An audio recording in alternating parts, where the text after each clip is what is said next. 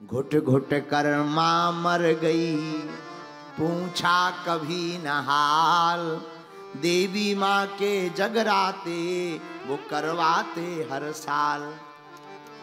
एक बात और, माँ तो माँ है, अम्बा माँ तो माँ है, लेकिन एक माँ सबके घर पर है, जो हमारी जननी माँ है।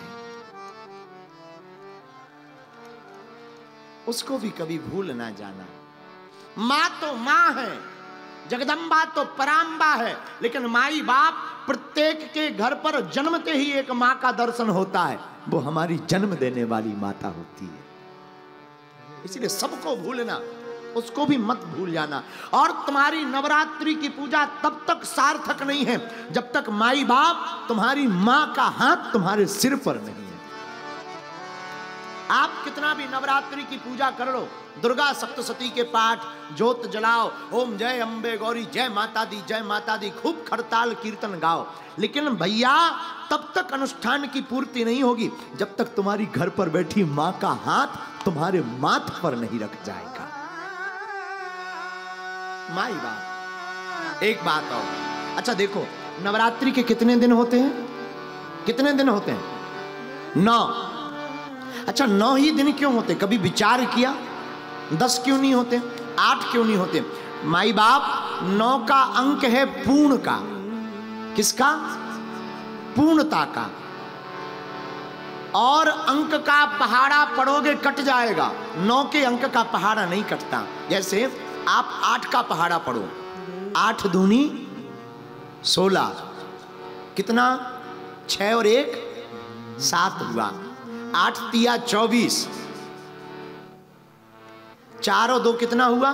छह हुआ। लेकिन अगर आप नौ का पहाड़ा पढ़ोगे तो उसमें अंक ज्यो के त्यों आएँगे। आप अगर पढ़ो नौ दुनी अठारह तो आठ और एक, नौ तिया सत्ताईस, सात और दो, नौ चौको, छत्तीस, तीन और छ नौ पंचे पैतालीस, पाँच और चार। नौ छक्के, चौवन, फिर पाँच और चार। कितने? नौ सत्ते, तिरसठ छ और तीन। नौ अट्ठे, बहत्तर, सात और दो। नौ नम्मा, इक्यासी, आठ और एक। और नौ धाम। ज़ीरो हटाओ सो फिर नौ। ये अंक कहीं नहीं कट रहा। पूरी पहाड़ा में आप पढ़िएगा। पूरा का पूरा पूर्ण है। इसलिए माई बाप, ज़िंदगी में हम लोग माँ के गर्भ में भी नौ महीने तक रख रहते हैं और नौ माह तक गर्भ में रहते हैं। उस नौ माह के गर्भ का कर्जा अगर चुकाना है तो नवरात्रि में माँ अम्बा को मनाना है। अम्बा को मनाना है। इसलिए हमने चौपाई चुनी। क्या? नाम उमा अंबिका भवानी। सुंदर सज सुशील सयानी। नाम उमा अंबिका भवानी। सुंदर सहज सुशील अच्छा एक बात और। नवरात्रि के बाद क्या आता है? दशहरा आता दशहरा किसका प्रतीक है? विजय का। जो नौ दिन तक माता रानी के चरणों में उपासना करता है, वो इस संसार की माया पर विजय प्राप्त कर लेता है। माधव का हो जाता है। और दशहरा में किसका वध हुआ था? बोलिए। किसका हुआ था? अभी दशहरा आएगा तो जगह जगह रावण को जलाया जाएगा, बेचारे को। लोग भी कितने विचित्र हैं, हर साल जलाते और रावण इतना खतरनाक आदमी, हर साल फिर खड़ा हो जाता ले और गुजरात के आदमी ऐसे बड़े बड़े फटाका मारते हैं, भैया। बड़े बड़े बम, ड्राम। और रावण अगली साल फिर मिलेगा, ले अब मारो। रावण कितना खतरनाक है। इतने सालों से जल रहा, फिर भी रावण कभी आज तक मरा नहीं। क्यों? क्यों? क्योंकि हम लोग बाहर के रावण को हर बार मार रहे, भीतर के रावण को जिस दिन व्यक्ति मारना प्रारंभ कर देगा, दोबारा जलाने की आवश्यकता नहीं पड़ेगी। एक बात और, महाराज जी, पूज गब्बर से जहाँ गब्बर पहाड़ पर माता रानी के साधक हैं, सभी आचार्य विराजमान है। महाराज जी, एक प्रार्थना हो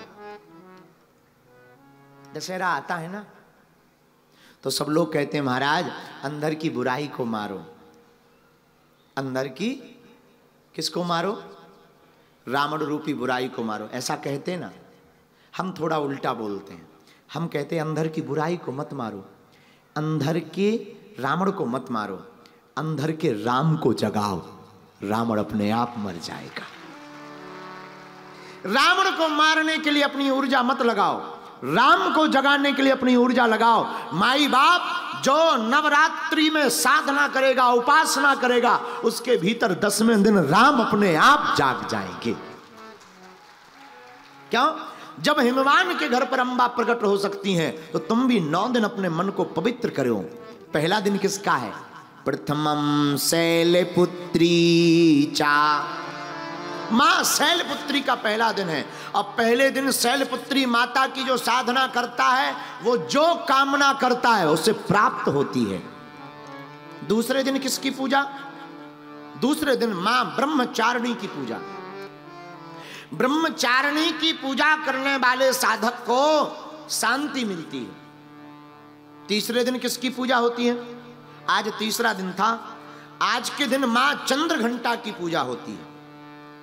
जो भी चंद्र घंटा की पूजा करता है, माँ के मस्तक पर चंद्रमा है। चंद्रमा मन का देवता है, मन की स्थिरता होती है। चौथे दिन किसकी पूजा होती है? चौथे दिन होती है कुष्मांडा माता की पूजा। कुष्मांडा माता की पूजा करने से क्या होता? जो भी साधक माँ कुष्मांडा की पूजा करता है, भैया, उसकी आयु बढ़ जाती है। आयु में वृद्धि होती है। दीर्घायु। बड़ा दीर्घायु होता। पंचम दिवस किसकी पूजा? पंचम दिवस होती माँ स्कंद माता की पूजा। स्कंद माता की पूजा करने से क्या होता? स्कंद माता की पूजा करने से मोक्ष की प्राप्ति होती मोक्ष का मतलब मर नहीं जाएगा आदमी। एक आदमी से हमने कहा कहो भैया, मोक्ष पाने का उपाय करो। बोले, महाराज, अभी हमें विवाह भी करना, बहुत ज़िंदा रहना है। अरे हमने कहा ठटरी के बरे। मोक्ष का मतलब मरना नहीं है। सुखम चा, दुखम चा, भवा भवऊ चा, लाभा लाभ जया जय। मोक्ष का मतलब है सुख में और दुख में जो सम रहे सुख में जिसे प्रशंसा, प्रसन्नता ना हो दुख में जिसको कष्ट ना हो, सुख आवे तो भगवान को धन्यवाद देकर के कहें, प्रभु आपको समर्पित। और दुख आवे तो मन में सोचे, ये हमारे पाप कम हो रहे हैं, ऐसी ज़िंदगी को ही मोक्ष कहा जाता है। तो पंचम दिवस, जो भी स्कंद माता की पूजा करता, वो मोक्ष पाता। छठवें दिन किसकी पूजा होती? छठवें दिन होती माँ कात्यायनी की पूजा। किसकी पूजा? माँ कात्यायनी की पूजा। कात्यायनी माता की पूजा करने वालों को दो प्रकार से लाभ मिलता। धर्म, अर्थ, काम, मोक्ष। ये चारों पुरुषार्थ मिलते। लेकिन कात्यायनी माता की पूजा करने वाले साधक को एक और लाभ मिलता, जिसका विवाह ना हो रहा हो। शादी में वैसे तो ठीक है, जिनकी शादी हो गई, उनसे हाल चाल पूछ करके शादी की अर्जी लगानी चाहिए। लेकिन फिर भी मन में इच्छा है, शादी के लड्डू बड़े खतरनाक होते हैं। जिन्होंने खा ले वो भी पछता रहे जिनने नहीं खाए, वो भी पछता रहे रो दोनों रहे हैं। लेकिन फिर भी मन में श्रद्धा है, मंगल काज में बड़ी रुकावट है तो जो भी छठवें दिन माता कात्यायनी की साधक पूजा करता है, उसके रुके हुए मंगल काज की माता कात्यायनी पूर्ति कर देती हैं। अच्छा सातवां दिन किसका है? सातवें दिन माँ कालरात्रि की पूजा होती है। कालरात्रि की पूजा करने से क्या होता? जो भी साधक माँ कालरात्रि की पूजा करता, उसके घर पर कैसी भी बाधा हो, भूत प्रीत की बाधा हो, कुछ भी घर में नहीं टिक पाती है। ये कालरात्रि माता की पूजा करने का लाभ है।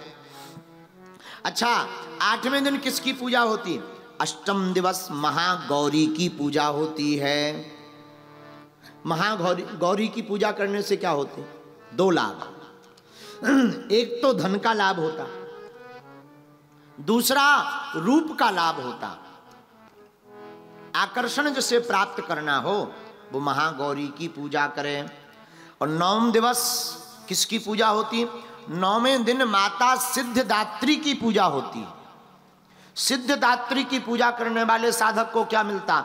सिद्धदात्री की पूजा करने वाले साधक को रिद्धियाँ और सिद्धियाँ प्राप्त हो जाती हैं। इस प्रकार जो नौ दिन अलग अलग देवी की उपासना करता है, उसे अलग अलग फल प्राप्त होते हैं। और हम तो एक ही बात कहेंगे, माँ से कुछ मत मांगो, माँ से तो केवल माँ को मांगो।